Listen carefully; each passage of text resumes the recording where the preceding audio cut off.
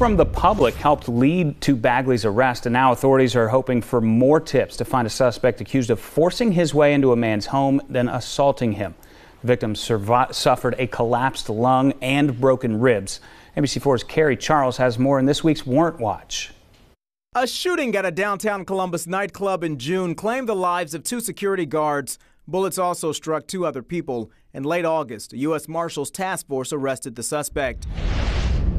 Weeks before that arrest, the team tracked the suspect in a different case to a house in Lima. The man accused of kidnapping an ex girlfriend not once but twice. During the initial incident, he escaped from police. Tips from the public were critical in making these arrests happen. Any tips we get, we act on them immediately because those tips are only good for so long. That expiration is quick. Um, so we have to act on them. They're committed to tracking, they, they don't give up. Marshal Michael Black hopes tips will help his team solve this week's warrant watch.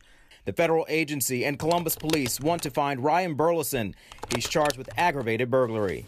According to court documents, the 32 year old is accused of forcing his way through a partially open door opened by a man inside.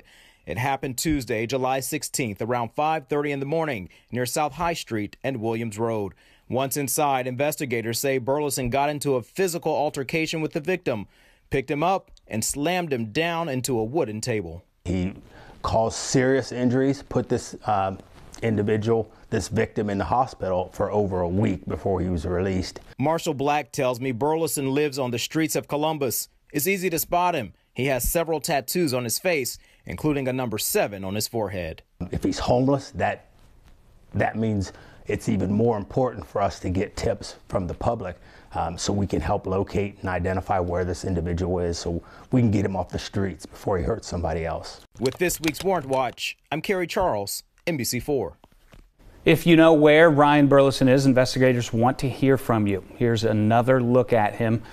Again, investigators believe Burleson is unhoused. They say he could be anywhere in the city. You can scan the QR code on your screen to contact the U.S. Marshal Service with your tips. We'll link to more information for making a tip online and the agency's contact information. Remember, all tips can be made anonymously.